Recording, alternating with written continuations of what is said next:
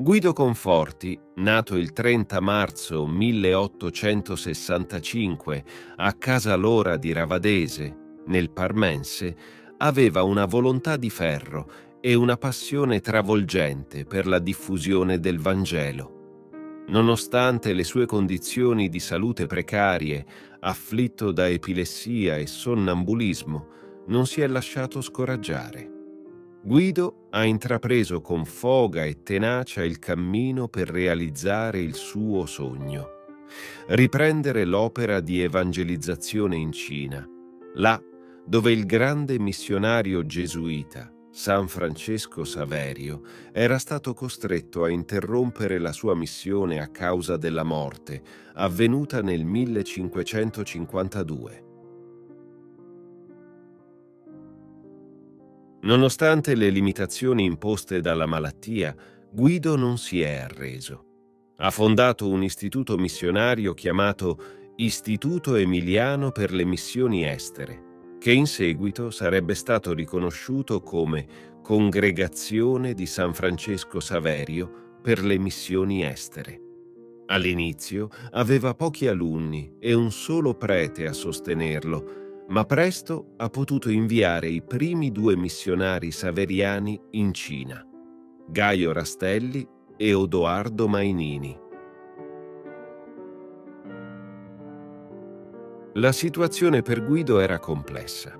Mentre ricopriva il ruolo di vicario generale della diocesi di Parma, si dedicava alla formazione di sacerdoti da mandare in missione. In quel periodo storico, la missione era spesso vista come una perdita di risorse per il clero locale, ma Guido si impegnò a convincere i suoi confratelli che la Chiesa, per sua stessa natura, era missionaria. Nel 1902, all'età di 37 anni, Guido fu nominato arcivescovo di Ravenna, ma a causa dell'aggravarsi della sua malattia dovette ritirarsi dopo soli un anno dalla cattedra di Sant'Apollinare. Nel frattempo, uno dei suoi missionari in Cina morì e l'altro fece ritorno in Italia. Durante quel periodo Guido si dedicò alla formazione dei giovani aspiranti missionari.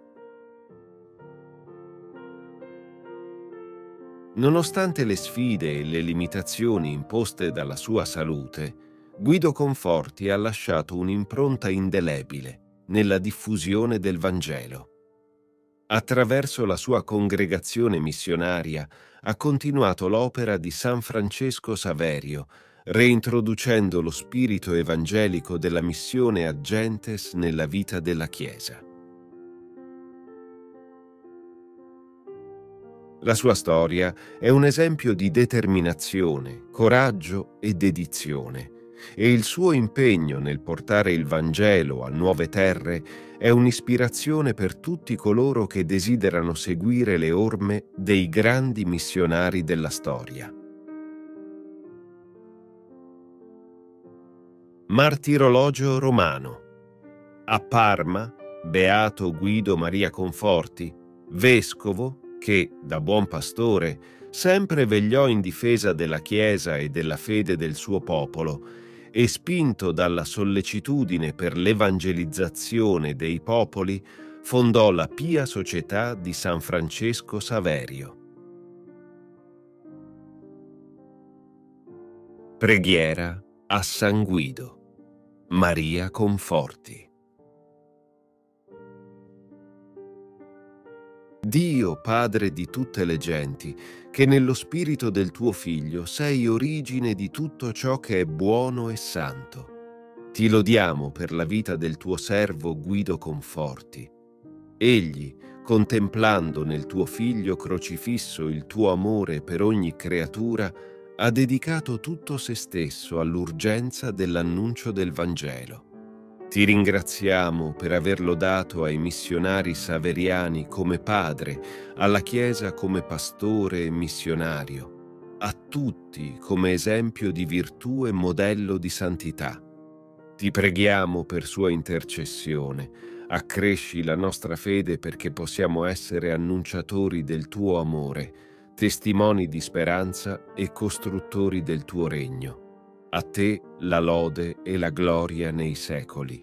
Amen. Ti invito calorosamente a iscriverti al nostro canale per darci supporto e permetterci di continuare a creare nuovi video che condividono storie ed esperienze ispiratrici. La tua iscrizione è un prezioso sostegno che ci motiva a condividere più contenuti di valore e a diffondere messaggi di speranza, fede e crescita personale. Grazie di cuore.